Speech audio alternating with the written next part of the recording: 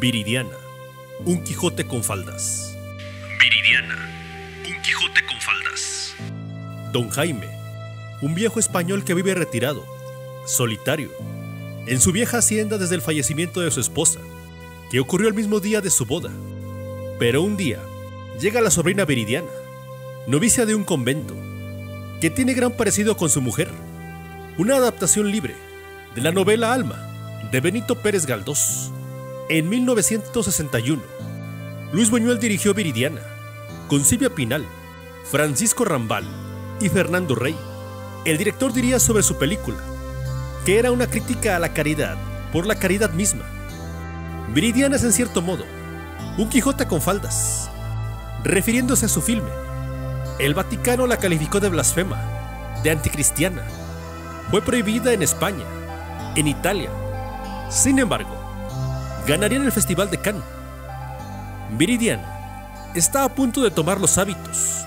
La mandan con su tío, pese a su voluntad, que ante el gran parecido con su difunta mujer, don Jaime, le pide a Viridiana que se case con él. Ella rechaza la petición, pero acepta vestirse con el traje de novia.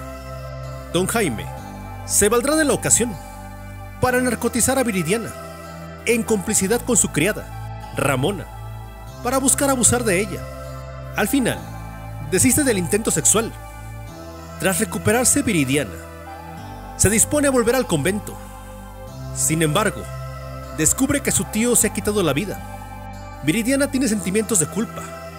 Renuncia a los hábitos para dedicarse a acoger y cuidar a los mendigos, a las personas que rondan las posesiones del tío. Su rutina tendrá un cambio tras la aparición de Jorge, el hijo de don Jaime, quien viene acompañado de la amante para tomar posesión de las propiedades. El personaje de Viridiana apareció en la novela de Pérez Galdós, Alma, de 1895.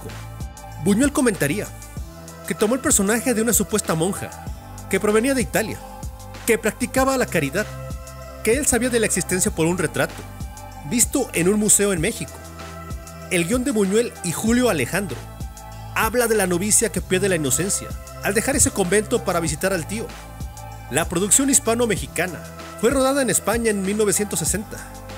17 años prohibida en el país ibérico por la dictadura del franquismo.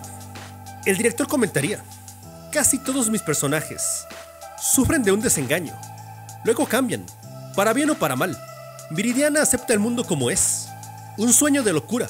Y finalmente, el retorno a la razón, de la misma manera que Don Quijote, cuando acepta ser Alonso Quijano.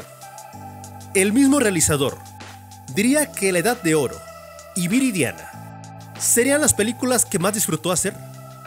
Con Viridiana, realiza un relato sobre perder la inocencia, con la novicia pura que será víctima del fetichismo, la forma en que se cuenta cada secuencia, la manera en que Viridiana se apega a los principios de bondad, hacen grande la puesta en escena, la fotografía de José Aguayo, con ese blanco y negro, acompañada de claros oscuros, buscando profundidad psicológica y visual, con la cámara a la altura de los ojos, con un montaje que busca la mentira, por encima de la realidad.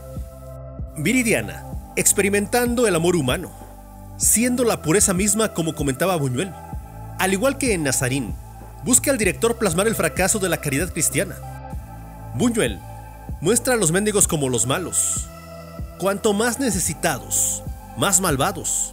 Expresa lo complicado de ser cristiano, de lo contraproducente de la caridad, de la represión, del erotismo, del fanatismo religioso.